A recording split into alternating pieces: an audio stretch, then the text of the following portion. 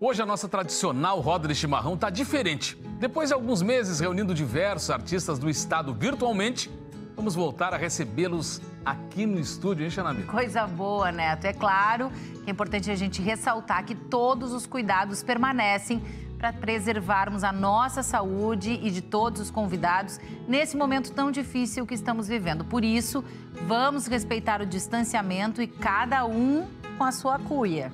Mas tem uma coisa que nunca muda, viu, Xana? Seja na forma virtual ou presencial, o chimarrão é sempre a melhor companhia para começarmos o dia, conversar com os amigos e principalmente curtir a música gaúcha. É verdade, o meu já está aqui, ó, meu chimarrão feito, é claro, com a nossa erva mate seiva pura a seiva da nossa cultura. Então vocês já sabem, mate bom e de qualidade é assim, ó. Erva mate seiva pura, a seiva da nossa cultura.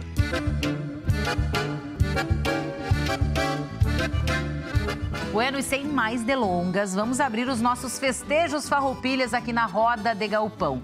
Augusto Camargo e Bruna Escopel são nossos convidados diretamente de Passo Fundo. Sejam bem-vindos. Sejam bem-vindos.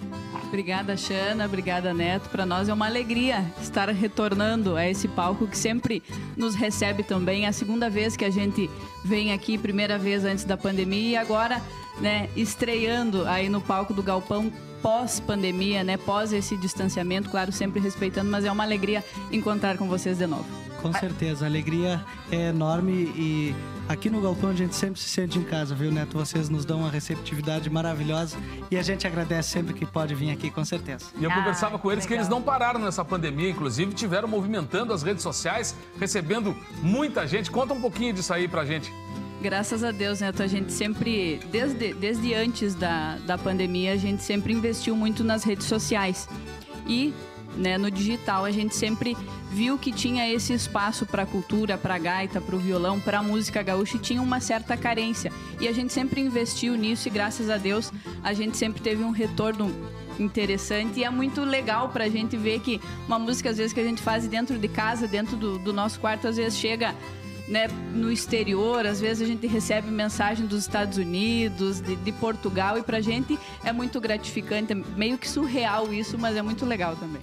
Mas olha, eu sei que esse período trouxe novas canções e eles vieram, é claro, em primeira mão aqui no Galpão Crioulo apresentar uma música nova chamada Canta Sabiá, composição deles mesmo. Podemos ouvir? Abre a gaita, gaiteira!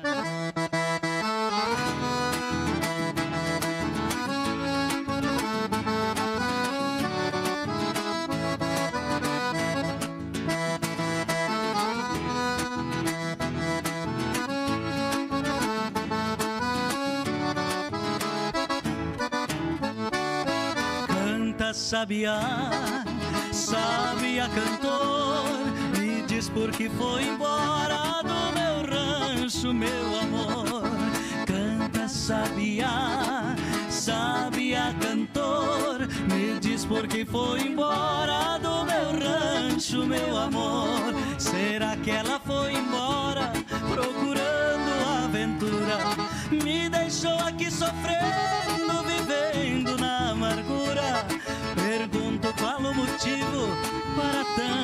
rebeldia. Fiz das tripas ao coração, fiz de tudo por ti, guria. Canta sabiá, sabiá cantor. Me diz por que foi embora do meu rancho, meu amor. Por que, que ela foi embora? Eu não sei.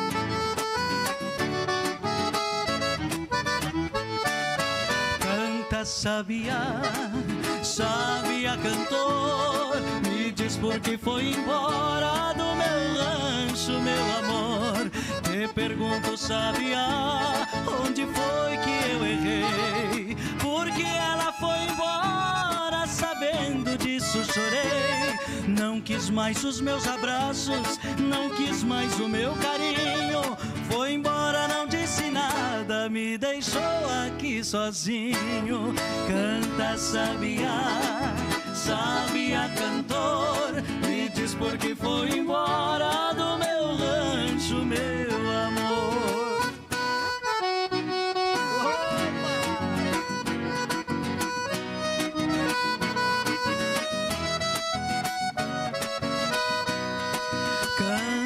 sabiá, sabiá cantor, me diz por que foi embora do meu rancho, meu amor. De tanto eu insisti, o sabiá respondeu: O teu ciúme foi tanto que o amor dela morreu. Conheceu um outro alguém que soube dar valor, que deu toda a liberdade e ganhou o seu amor. Canta sabiá, sabiá cantor, me diz por que foi embora do meu rancho, meu amor. Canta sabiá, sabiá cantor, me diz por que foi embora do meu rancho, meu amor. Canta sabiá, sabiá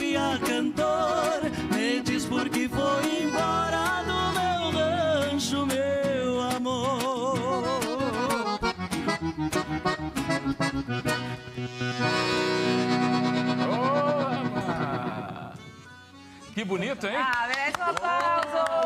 A gente tava com saudade de aplaudir A os artistas aqui, hein? Com certeza estava com saudade de aplaudir os artistas aqui dentro do nosso estúdio. É, essa música né, nos remete muito a esse cancioneiro, né? Teixeirinha, Exato. né? Da nossa música. A gente sabe que a Bruna e o Augusto têm uma relação com esse repertório também. Mas o momento da pandemia também é um momento da gente compor. Eu tenho ouvido isso muito de, de artistas amigos, colegas, né? O fato de estar em casa muitas vezes traz a inspiração. Vocês compuseram muitas músicas, poucas músicas. Como é que foi o processo criativo nesse momento para vocês? É, foi- graças a Deus, né, assim, eu sempre digo que tudo que vem é por uma causa, né, por um bem maior que a gente não sabe, né. Então, isto também nos deixou mais próximo do- da composição, até mesmo do trabalho, né, nas redes sociais. Então, a gente teve esse tempo, entre aspas, né, para poder aprimorar essa parte da escrita, né, e saiu algumas composições. Acho que hoje, se nós for fazer mais alguns dois, três trabalhos aí, a gente teria um material. Depois desse período da pandemia, né? Que as escritas Tem que pedir, seguiram, né? Vamos Com ter que pedir certeza. então. Tem alguma coisa pra gente mostrar já das novas aí? Claro, com certeza. Tem uma música que, inclusive, vocês estão aí com. Tá aqui com- o disco. Com, Tá aqui o CD, disco. né? Que saiu no disco novo em meio à pandemia, né? Que é o- hoje o nome do nosso primeiro trabalho, que é o Cantar desta Querência. E com muita alegria a gente pode, pode cantar, né, Bruna? Com certeza, né? O Claro. Cantar desta Querência.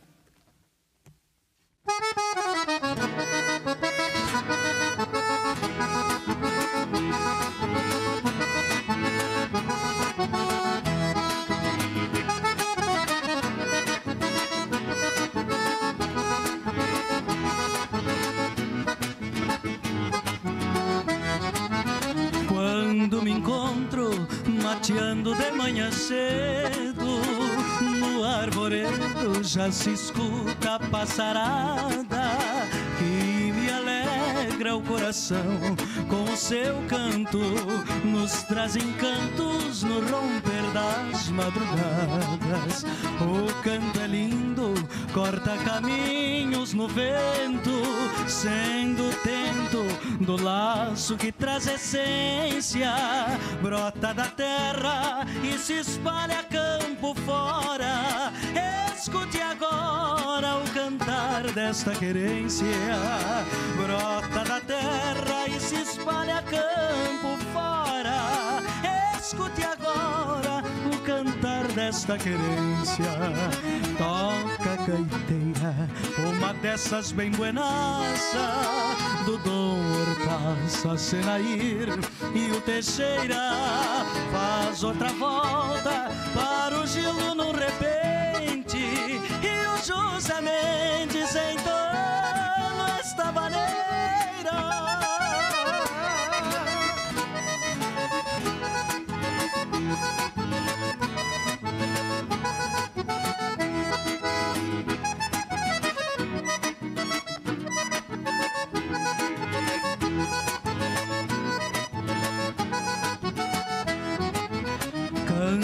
assim, o Rio Grande se criou e se formou uma história infinita educação, respeito e a bravura. Dentre as culturas é uma das mais bonitas.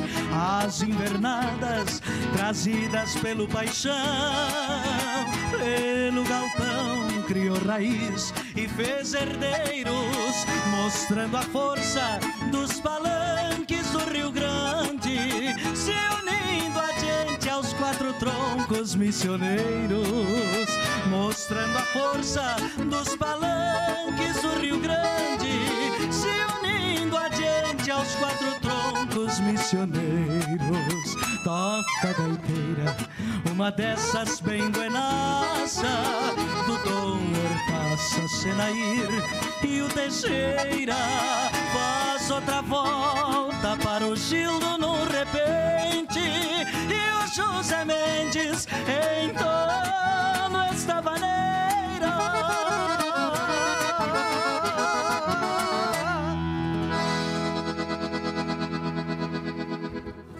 Que bonito, mas eu quero convidar vocês para que peguem a cuia aí para a gente poder fazer um brinde especial, porque esse é um, é um reencontro que a gente aguardou durante muito tempo de poder receber mais uma vez os artistas aqui no estúdio do Galpão Crioulo, um momento de muita emoção para todos nós e que esse chimarrão continue sendo, né, o nosso nosso símbolo da hospitalidade, de recebê-los mais uma vez, de agradecer pela música de vocês, pela parceria de vocês e que a gente possa estar recebendo mais e mais pessoas, né, Xana? A partir é de agora, com, com segurança, com todos os cuidados, mas que a música não pare jamais, porque ela é uma espécie de remédio para a alma e para o coração. Então, quando a gente está ouvindo vocês, é um momento muito especial e esse brinde é para todos os artistas do Rio Grande, do Brasil, que possam ter um espaço importante como o Galpão Crioulo oferece para os artistas do nosso Rio Grande do Sul. Saúde! Bem-vindos! Todos! É, o nosso chimarrão Levanta a tua cuia em casa também, brinda conosco essa volta do, da nossa roda de galpão presencial com os artistas da nossa terra.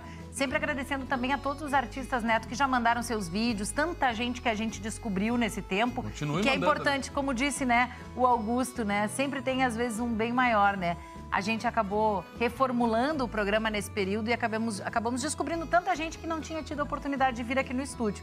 Mas agora a gente está de volta, recebendo também o carinho desses músicos da nossa terra por aqui. E é claro que a gente quer pedir mais uma música, mas olha, hoje o programa eu vi, inclusive, que a Bruna tá vestida ali a estilo Anitta Garibaldi, né? Porque afinal o programa de hoje também é uma homenagem à Anitta Garibaldi, que no dia 30 de agosto completaria 200 anos de nascimento. Mas a gente recebeu aqui, eu quero registrar primeiro o nosso carinho a essa querida amiga de Galpão Crioulo, que é a querida Elma Santana. Uma pessoa que a gente pode dizer dedicou, dedica a vida, principalmente né, ao folclore, à tradição do Rio Grande do Sul, mas tem uma parte muito importante da vida artística da Elma, histórica da Elma, dedicado a Anitta Garibaldi. E ela está lançando Anitta Garibaldi 200 anos novo livro da Elma Santana. Obrigada, Elma. Como a Elma batalhou por isso, para que a geração que estava chegando pudesse conhecer a força de uma mulher tão importante, né? Que influencia tanta gente até hoje. Então são duas mulheres que eu que eu sempre me lembro quando o assunto é a Anitta Garibaldi. É a Marlene Pastro cantando as canções né, de vários compositores ligados a isso e também a Elma Santana que escreve, que informa, que batalha, que vai à Itália muitas vezes é. para trazer uma informação embasada em tudo isso. Então, parabéns a Elma Santana, que está também fazendo parte da nossa história aqui. E vocês são convidados para nos brindar com mais uma canção, né? sozinho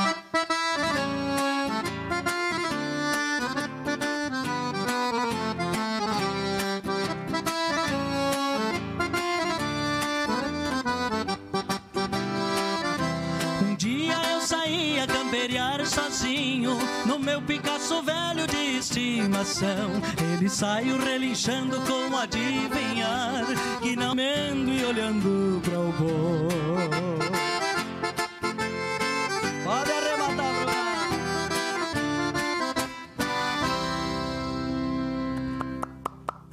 Ah, gurizada. O meu Rio Grande, o meu lar